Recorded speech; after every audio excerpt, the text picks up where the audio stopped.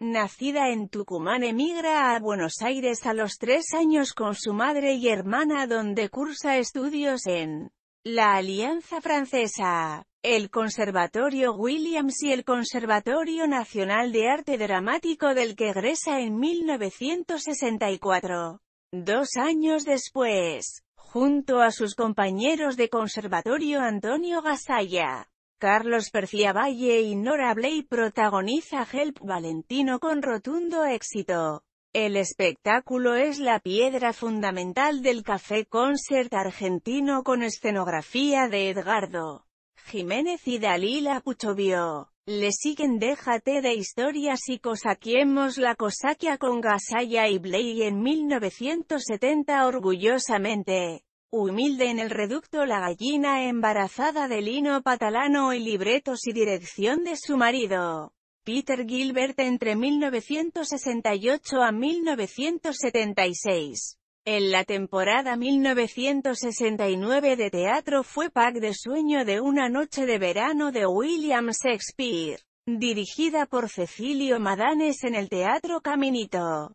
Otros unipersonales incluyeron Chiquitita como soy, el coraje de ser madre. La noche y la Díaz. Bésame, bésame público. La mamá de Tarzán. El show no está para bollos. Fatiamo l'umore. Eda Díaz el show. Cartonera. Etc. En televisión fue uno de los personajes más típicos de los Campanelli entre 1969 y 1973. Llevado al cine en dos oportunidades. Ha hecho varias colaboraciones en programas como La Noche de Moria Kazan, Mesa de Noticias, Upumorpo, Badia y Cia y otros. En 2013 vuelve a la televisión argentina, en la serie Farsantes, producida por Paul K. Como actriz, autora y directora ha realizado varios espectáculos unipersonales.